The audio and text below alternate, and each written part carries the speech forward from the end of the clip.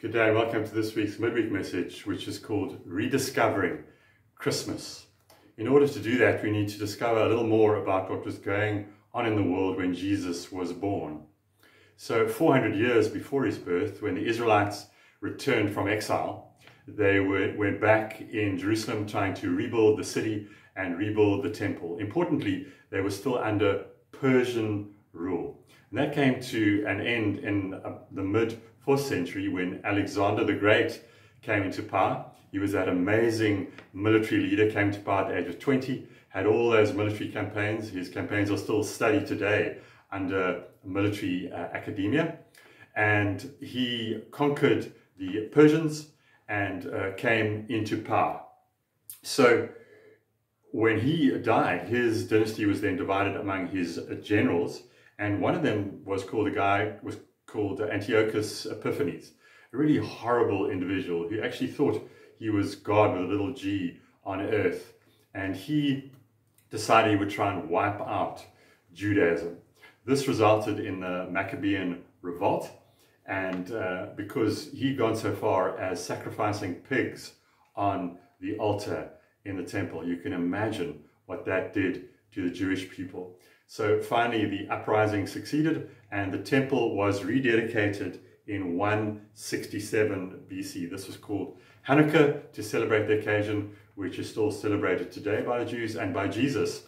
We are told in John chapter 10, verse 22 to 23, he also um, celebrated this event. So the Maccabeans, they continued to reign for uh, several decades until the Roman general Pompey conquered, conquered Jerusalem in 63 BC, and he killed lots of Jewish priests and Jewish leaders. And not long after that, Herod the Great, he persuaded the Romans to put him in power over the Jews, and um, he was this powerful, paranoid guy, and you remember Matthew tells us of how he was having babies killed at the time. And Jesus is born then under Roman oppressive rule.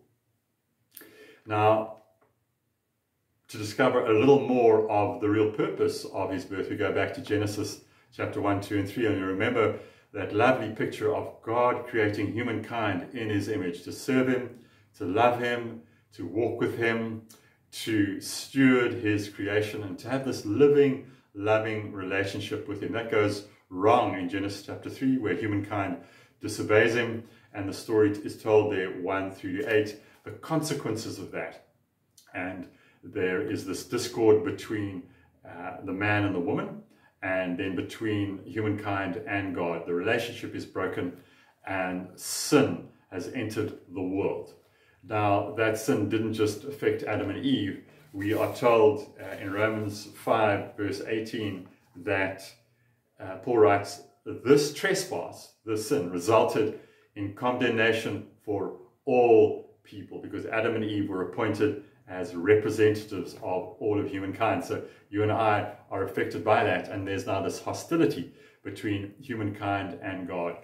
Right there in the beginning, you know, Genesis 3.15, in the middle of all that hostility and struggle and conflict, we have the first um, foretaste, the seed sown of the gospel message, where it's written that between Satan and humankind, there will be enmity between you and the woman and between your offspring and hers.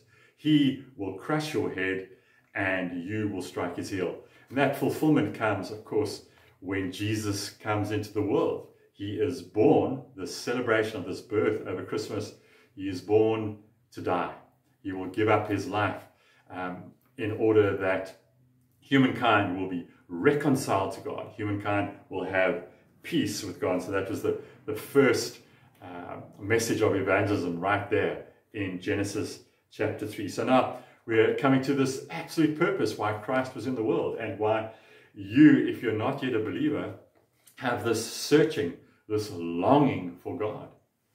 Uh, it's quite simple. Your sin, my sin, separates us from God, from His love, His perfection, His grace, His goodness, and grace uh, comes to us once again over Christmas, this beautiful season when we remember the birth of Christ, when uh, He was born to die. On that cross, he conquered Satan, he conquered sin, he conquered death. And uh, in the Garden of Eden, humankind would die physically a little later on, but they would die spiritually. So uh, this is called the fall. So Jesus came to reverse the fall, to reconcile, to undo what Adam did. That's why it's sometimes called the second Adam. So uh, Paul says uh, God was reconciling the world to himself in Christ. Isn't that good news? And not counting people's sins against them. That's why you need to get into a Christmas Day service. Consequently, we can have peace with God through our Lord Jesus Christ. So, friends, uh, we at Summerstrand United, tomorrow evening, Thursday evening, half past six, we're going to be singing carols together. It's an opportunity to invite unchurched, uh, unsaved, unbelieving friends. People love to sing carols. We will also share the gospel.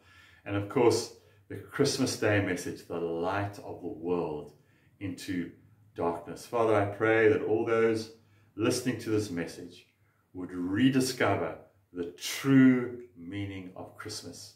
In Jesus' name, Amen. God bless you.